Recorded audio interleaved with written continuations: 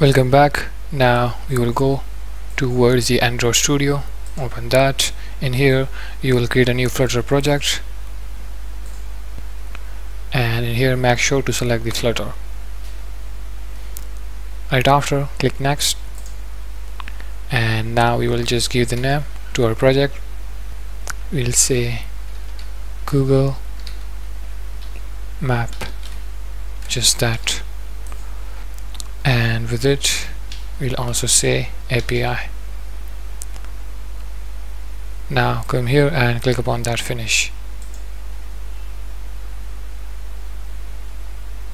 This will create a new project for us right in the Android Studio.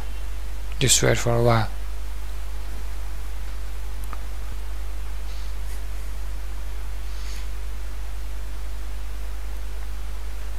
Here we are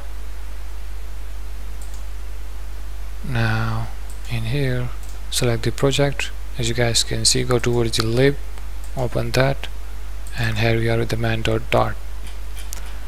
now we will just set up our project in order to access the Google map okay? Now let's go ahead and click upon that pubspec.yaml and here we will just provide some dependencies. Now open the browser and in here as you guys can see simply search for pub.dev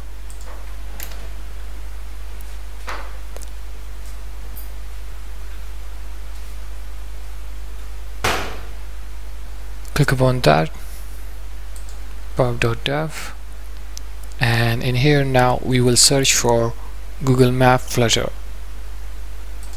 So we'll say in here Google Maps Flutter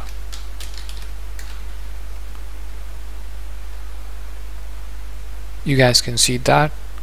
Click upon that first one. And you can just read the documentation. But I'll skip that and we will go towards the installing. And here you guys can see that dependencies okay? Simply just copy that from here go towards Android Studio. And below this Cupertino icons in here paste it. Now right after just come here and click upon that pub-get so it will just import it. Just wait for a while. Resolving dependencies now simply just get this done from here. And now if you go back towards the pub.dev in here let me just show you one thing. You guys can see that in here for Android.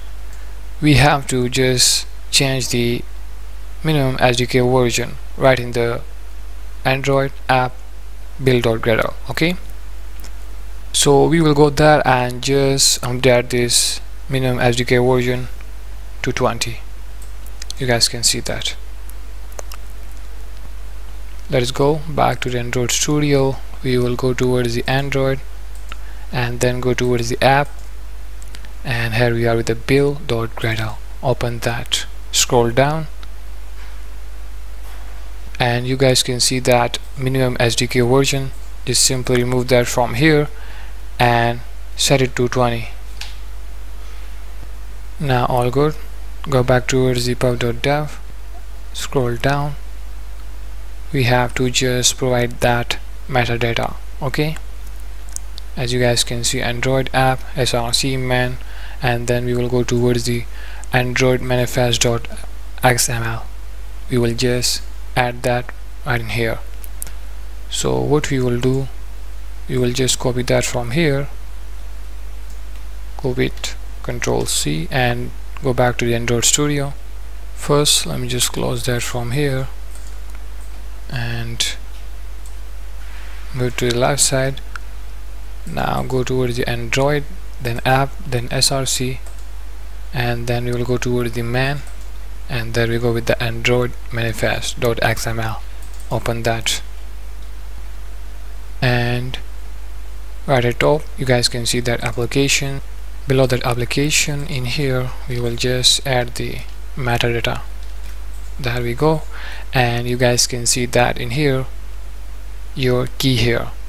So we will simply go towards the Google Maps API console and from there we will just copy the API key and just provide it in here. So then this Android app will just have the access to the Google Maps first we will go and just copy the API key in order to get the required work. So here we are right in the browser and you guys can see that first step in here. We are on the Google Maps platform.